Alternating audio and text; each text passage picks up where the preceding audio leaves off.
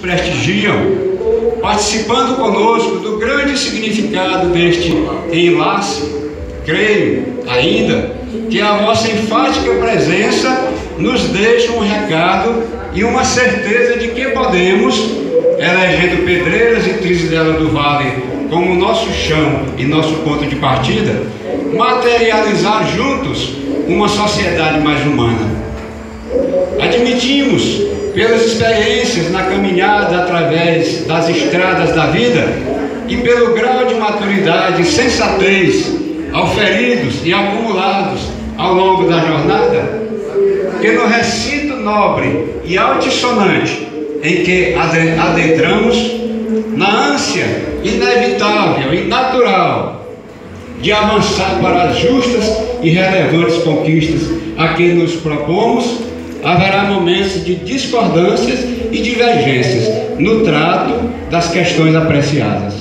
Porém, nos regozijamos ao saber, como cônscios que somos, da missão a realizar e da nossa estatura e importância perante a sociedade, que possíveis divergências, afinal, produzirão convergências. As discordâncias, concordâncias.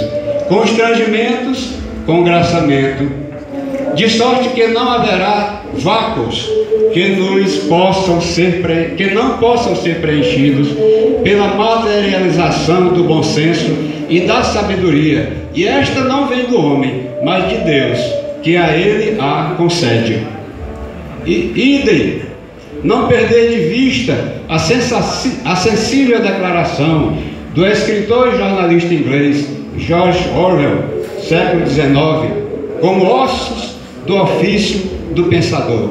E ele disse: em tempos de embustes universais, dizer a verdade se torna um ato revolucionário. Sobre estes relatos, resta apenas mencionar, até mesmo no fito de espairecer, no domínio das emoções, um pensamento marcado pela espontaneidade do poeta e escritor modernista Mário Quintana, que diz: há duas espécies de chato: os chatos propriamente ditos e os amigos, que são os nossos chatos prediletos.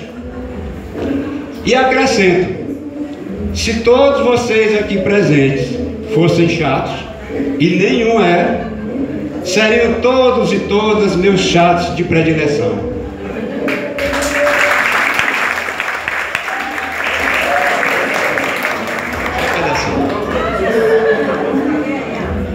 Enfim, confrades e confreiras, a quem desejo todo sucesso na nova empreitada, amigos e amigas, não desejando, em hipótese nenhuma, olhem só, esgotar a paciência e a boa vontade de vocês, que até o momento, felizmente, ainda não esboçaram qualquer gesto de incômodo, apesar do calor.